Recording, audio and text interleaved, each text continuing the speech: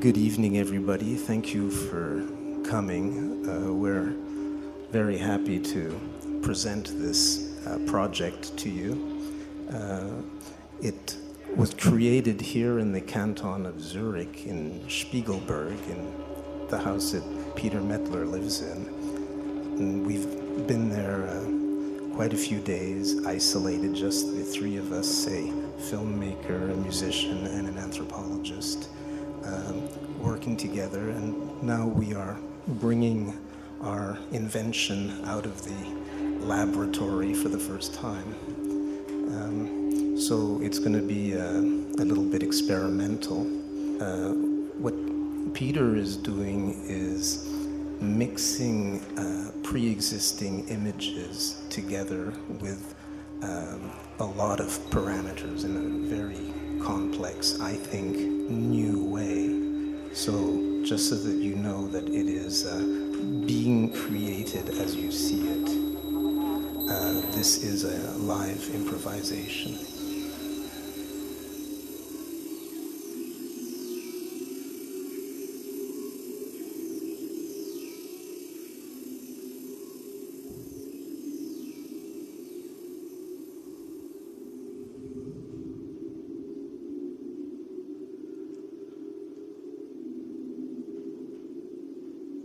What are these images we see with our eyes open and the photons bombard the retinas of our eyeballs?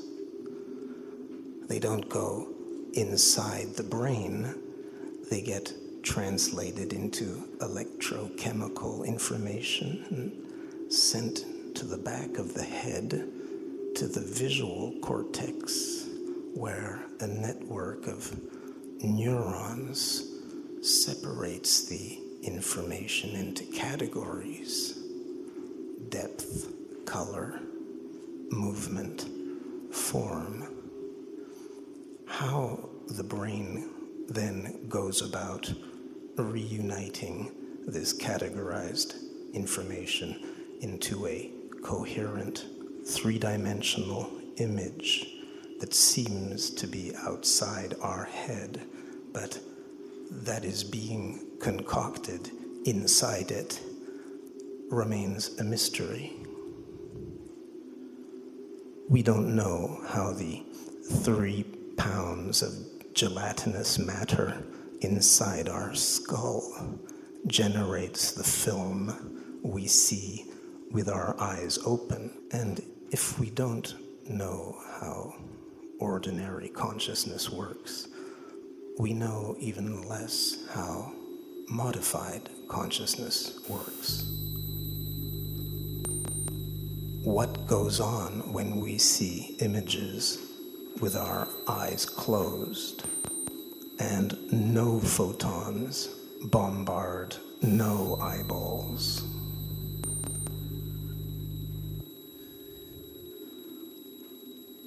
One way of understanding something is to modify it.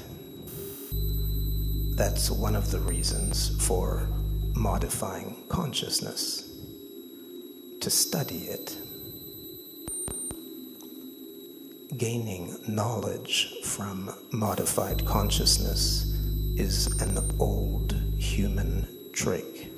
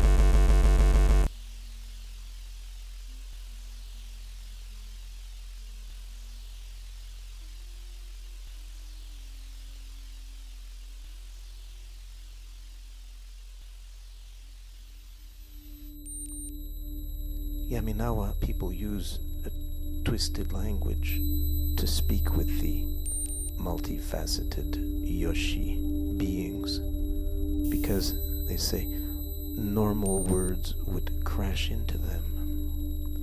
But with twisted words, you go in close, but not too close. Circle around them and see them clearly. Because Yoshi beings have no simple nature. Yoshto Yoshto metaphors are the only adequate way of describing them. Here, metaphor is not improper naming, but the only naming possible. Say one thing to mean another, like a, a boomerang. Aim it over there to impact over here.